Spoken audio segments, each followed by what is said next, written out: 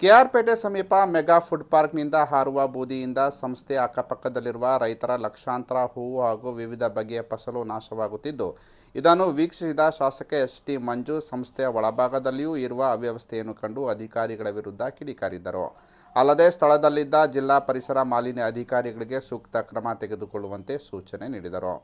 ತಾಲೂಕಿನ ಗಡಿಭಾಗದ ಅಶೋಕನಗರ ಸಮೀಪವಿರುವ ಮೆಗಾ ಫುಡ್ ಪಾರ್ಕ್ನಿಂದ ಹಾರುವ ವಿಷಕಾರಿ ಬೂದಿಯಿಂದ ಆಗುತ್ತಿರುವ ಅನಾಹುತಗಳಿಂದ ಮುಕ್ತಿಗೊಳಿಸಿ ಎಂದು ಸುತ್ತಮುತ್ತಲಿನ ಗ್ರಾಮಸ್ಥರು ಮನವಿ ಮಾಡಿದ ಹಿನ್ನೆಲೆಯಲ್ಲಿ ಸ್ಥಳ ಪರಿಶೀಲನೆ ನಡೆಸಿದ ಶಾಸಕರು ಅಧಿಕಾರಿಗಳನ್ನು ತರಾಟೆಗೆ ತೆಗೆದುಕೊಂಡರು.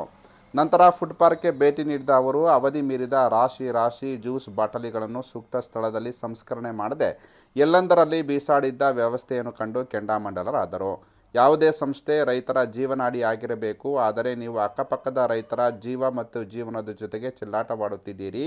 ನಿಮ್ಮ ಉದ್ದಟತನ ಹಾಗೂ ಬೇಜವಾಬ್ದಾರಿ ನನ್ನ ಕ್ಷೇತ್ರದಲ್ಲಿ ನಡೆಯುವುದಿಲ್ಲ, ಸಂಸ್ಥೆಯ ಒಳಭಾಗದಲ್ಲೂ ಸ್ವಚ್ಛತೆ ಇಲ್ಲ.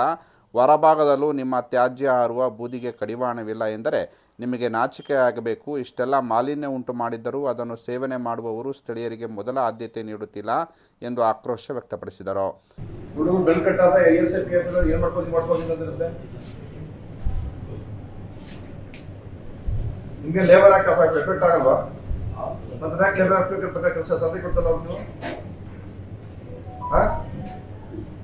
ಕಸ ಕೊಟ್ಟಿದ್ದಾಗಿ ಮೂಟವರೆಗೆ ಒಂದು ನಿಲ್ಲಿಸಿಲ್ವಾ ಯಾಕೆ ಅಷ್ಟೊಂದು ಕಮ್ಮಿ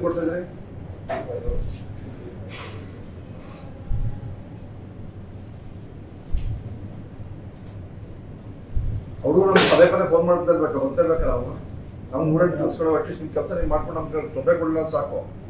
ಈ ಸಂದರ್ಭದಲ್ಲಿ ಪರಿಸರ ಮಾಲಿನ್ಯ ಅಧಿಕಾರಿ ಅಶ್ವಿನಿ, ಕಾರ್ಮಿಕ ಇಲಾಖೆ ಅಧಿಕಾರಿ ಗಂಗಾಧರ್, ಗ್ರಾಮ ಪಂಚಾಯಿತಿ ಸದಸ್ಯ ಜವರಾಯಿ, ಗ್ರಾಮ ಪಂಚಾಯಿತಿ ಸದಸ್ಯ ಚಿಕ್ಕೋನಹಳ್ಳಿ ಯೋಗೇಶ್ ಸೇರಿದಂತೆ ಇತರರು ಉಪಸ್ಥಿತರಿದ್ದರು.